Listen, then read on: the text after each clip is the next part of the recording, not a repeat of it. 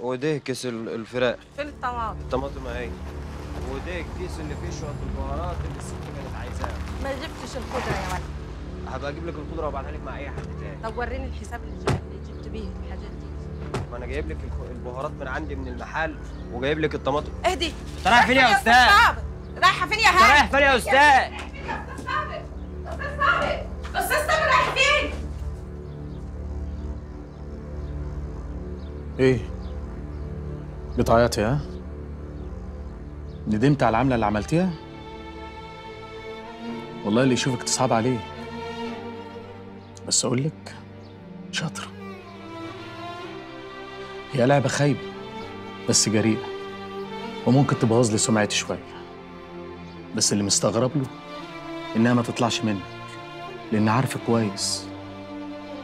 أكيد من زين ولا من أختك منال. ما انت حواليك شياطين. بس عايز أقول لك على حاجة. زي ما الفضيحة دي انتشرت في يوم وليلة أنا همحيها في لحظة.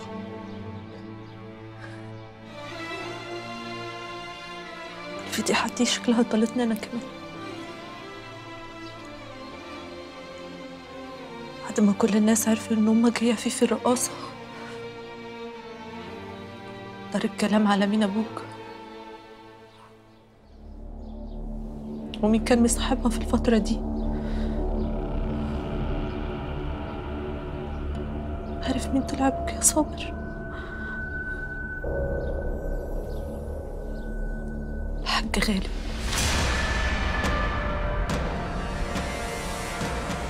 أبوي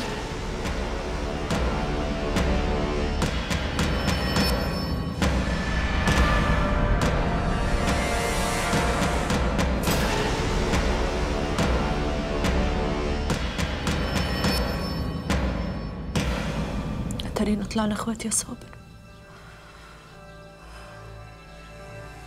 أتاري بعدنا عن بعض كان رحمة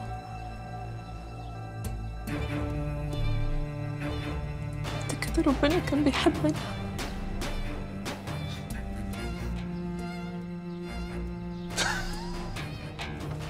إخوات معلش يعني هو الموضوع يضحك بجد يا رحاب رحاب اللي مفطمك على موضوع زي ده قولوا ان ده هندي قوي.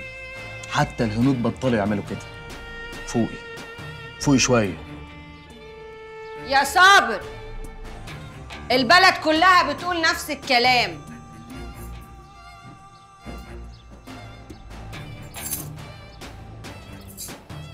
اللي طلع الخبر ده ما كانش عارف إن النار هتطول وتحرقنا كلنا. بصوا يا جماعة أكيد في حاجة غلط. إحنا لازم نوصل للست دي وتقول لنا الحقيقة. التليفون اللي اديتهولي مقفول. والعنوان غلط.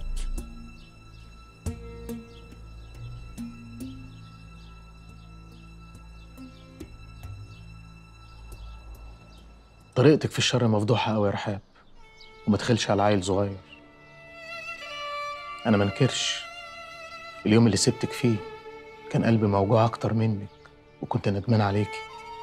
بس دلوقتي بحمد ربنا إن ما وقعنيش في واحدة زيك. بتطبخ الشر مع أكتر حد بيكرهني وعايز يأذيني. صابر. استنى يا صابر. عاجبك اللي وصلتينا ليه ده؟ فضحتينا. خليتي كل الناس تلسن علينا وعلى أبوك الله يرحمه اللي محدش كان يقدر يجيب سيرته بكلمة وحشة. وكل ده ليه؟ عشان تنتقمي من سي صابر اللي سابك؟ أهو الفضيحة بقت للكل. بتتكلمي بتقولي إيه؟ الست دي جات لي المحل وسألت عنه. أنا آه زقيت الحكاية علشان أفضحه واجرسه بس مش أنا اللي اخترعتها هتفضلي عيلة صغيرة أي حاجة بتيجي في دماغها بتعملها على طول من غير ما تعمل حساب لأي حد. وفي الآخر يجي أبوكي اللي فضحتيه يعملك كبيرة عليا ويكتب لك ورثي.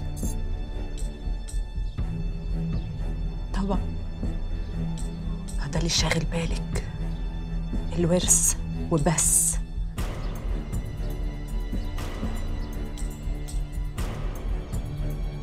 مش ممكن الست دي تبقى بتكذب؟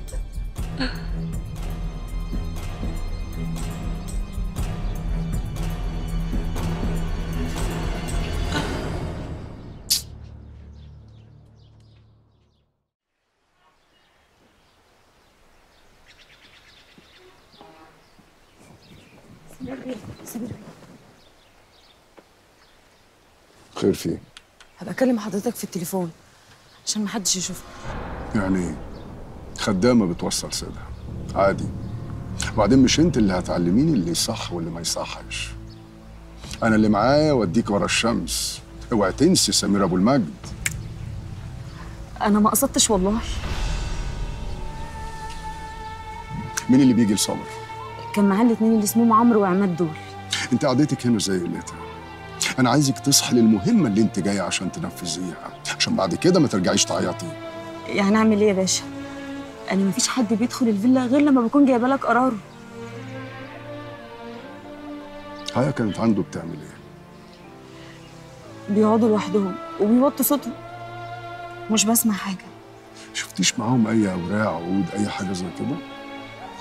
لا. تدخل فاضية وبتخرج فاضية. أنا عايزك تفتحي عينك كويس. تراقبي صابر أي خطوة يخطيها تبلغيني بيها حتى قبل ما يخطيها. فاهمة؟ حاضر. يلا روح. مع السلامة يا سمير بيه.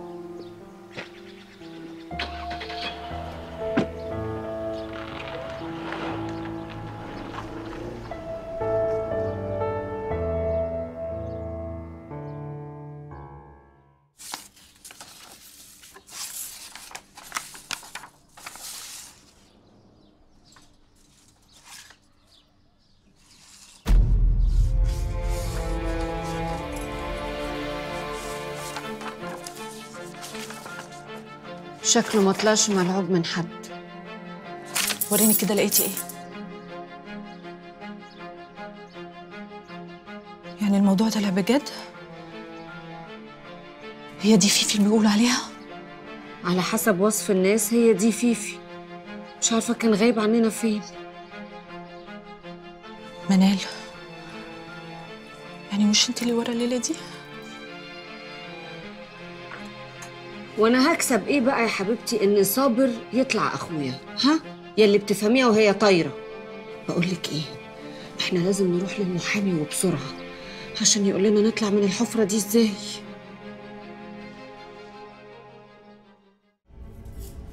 تعالي يا سهيل. تعالي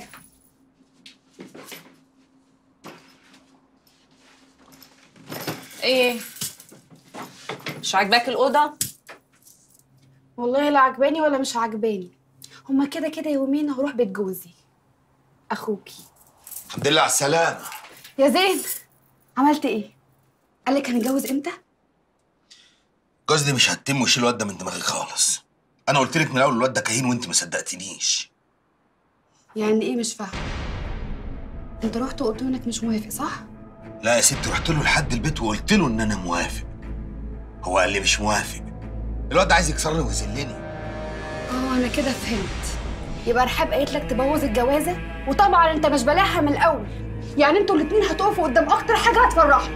في إيه يا سهيلة؟ مالك؟ ما تطلعيني من دماغك بقى. أنا لا قلت ولا اتنيلت. بقول لك إيه يا زين والله العظيم لو ما مشيتش الموضوع ده أنا هولع لك في نفسي. انت مجنونة يا بت بقول لك قال لي مش عايز مش موافق. إيه ما تفهميش. كداب وانت قللت الرباية. ما تصلي على النبي يا زين ما ينفعش كده. الله. بس انت يا رحاب امشي دلوقتي. امشي الله يصلح وحالك أنا اعرف إزاي اربيها. امشي. بقول لك إيه يا زين؟ والله العظيم لو جوزتني صابر هموت نفسي. ما تموت ولا تتحرقي بجاز حد. النهارده مفيش خروج من البيت. فاهمة ولا لا؟ فاهمة ولا لا؟ انت بتعمل إيه؟ يا زين! زين بتهزر يا زين افتح الباب. يا جماعة ما تهزروش افتحوا الباب. يا زين!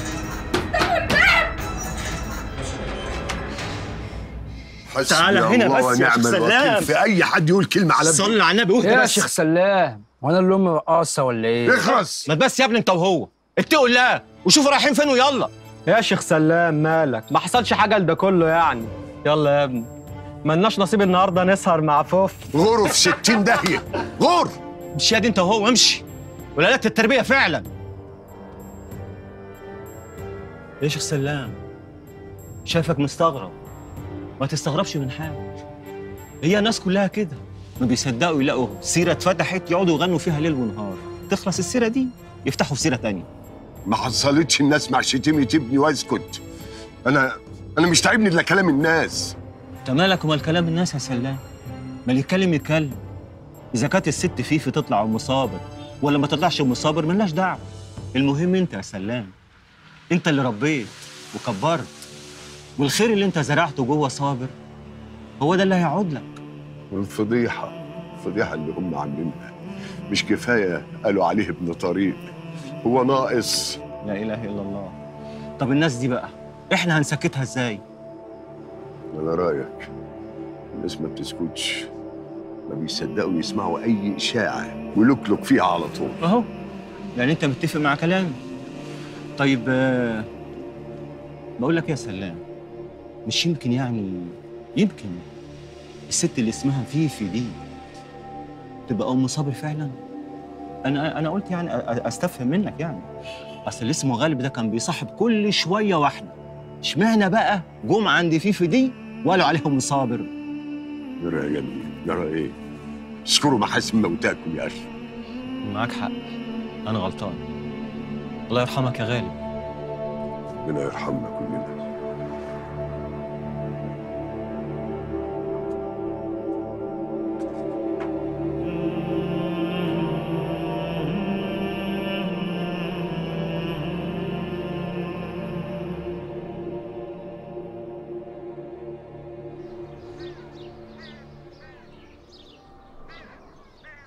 يلا يا زهرة يلا شهالي. إيه إيه؟ مش هو قالك ما تدخليش عليها؟ يقول اللي يقوله. البت في بيتنا وما كلتش لقمة من امبارح. تعالي يا زهرة.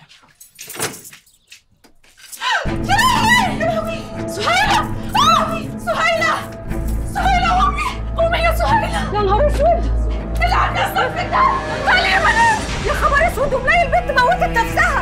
اجري بسرعة! اجري شوفي زين فين بسرعة! يا لهوي يا لهوي يا اشيليها معايا. إحنا لازم ناخدها المستشفى. يا لهوي.